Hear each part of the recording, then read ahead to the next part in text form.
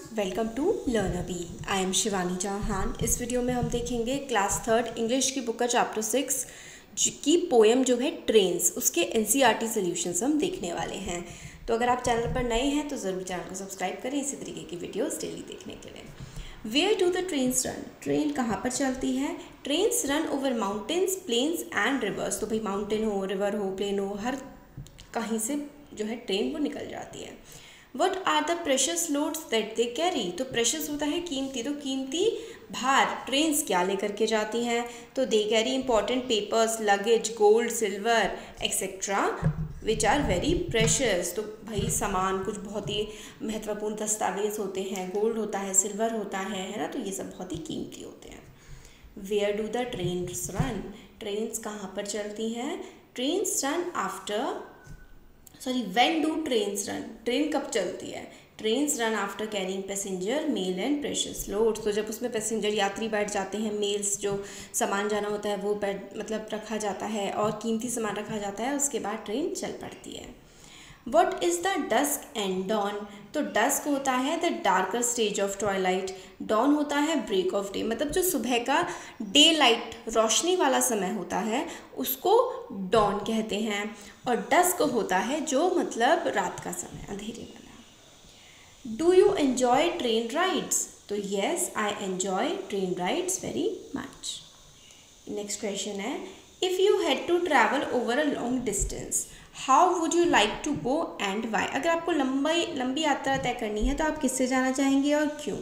तो आंसर है I would like to go by train this is because it is comfortable means of transport मैं train से जाना पसंद करूँगी क्योंकि ये काफ़ी ज़्यादा कम्फर्टेबल है, आरामदायक ट्रांसपोर्ट का मीनिंग है। मतलब हम चल सकते हैं, लेट सकते हैं। It has sleeping arrangements and toilet facilities that are essential for travelling over a long distance तो आप सो सकते हो और इसमें आराम से इधर उधर घूम भी सकते हो और टॉयलेट की फैसिलिटीज़ भी ट्रेन में होती है तो इसलिए लॉन्ग डिस्टेंस के लिए बहुत अच्छी होती है ट्रेन क्वेश्चन सेवन है if you had to spend a night in a train what you need to take with you draw and name the things you would need in this suitcase तो आप train में अगर एक रात पूरी आपको बितानी है तो आपको किस किस चीज़ की ज़रूरत पड़ेगी? तो खाने की आपको ज़रूरत पड़ती है है ना? बेडशीट की, बिछाने के लिए, ओढ़ने के लिए, चद्दर, पिलो तकिया है ना? टूथब्रश की अगले दिन, क्योंकि आप पूरे दिन ट्रैवल कर रहे हैं तो अगले दिन टूथब्रश की भी ज़रूरत पड़ जाएगी। फिर उसके बाद टंग क्लीनर है ना? ये सब चीज़ों की आपको ज़रूरत पड़ सकती है। डिस्क्राइब एन इंटरेस्टिंग ट्रेन और bus journey you have taken और वुड लाइक टू टेक तो एक इंटरेस्टिंग अच्छी सी बस जर्नी को ट्रेन जर्नी को डिस्क्राइब कीजिए, जो आपने मतलब देखी है। तो राइट फोर सेंटेंसेस चार सेंटेंस अपनी जर्नी के बारे बारे में लिखिए और इन सबसे आपको हेल्प लेनी है। काफ़ी सारे many people crowded tea stalls मतलब बहुत सारे लोग वहाँ पर थे। टी स्टॉल यानी कि चाय के जो, जहाँ पे लोग चाय पी रहे थे, वो काफ़ी ज़्यादा क्राउडेड थे, बहुत सारे लोग चाय पी रहे थे। इन सब शब्दों का इस्तेमाल करके हम लोगों को सेंटेंस बनाना है।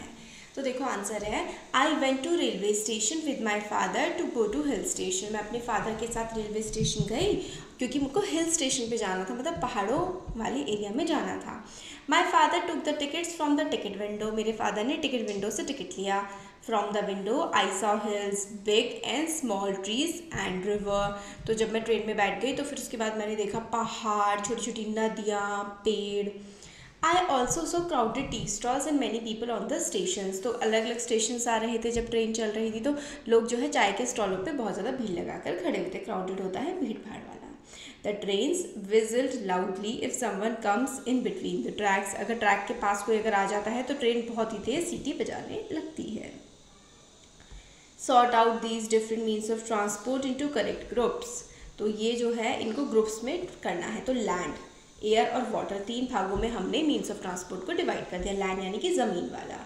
तो ज़मीन वाला कौन कौन सा होता है? Bus car train bicycle truck ये ज़मीन के ट्रांसपोर्ट है मोड ऑफ़ ट्रांसपोर्ट हवा वाला एरोप्लेन और हेलीकॉप्टर पानी वाला शिप बोट स्टीमर और याच ये हमने यहाँ से जो है डिवाइड कर दी है। डिफरेंट मीन्स ऑफ़ ट्रांसपोर्ट होते हैं लैंड एयर और वाटर सेंटेंसेस को हमें कंप्लीट करना है।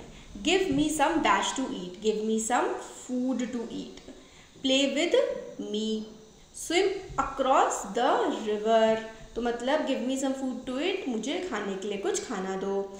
मेरे साथ खेलो. Play with me swim across the river river को तैर दो. स्विम होता है तैरना. Let's get on the train train पर चलो आओ चढ़ जाते हैं. से अलाउड ये जो शब्द हैं, इनको आपको तेज़ी से पढ़ना है. तो क्या क्या है देखिए?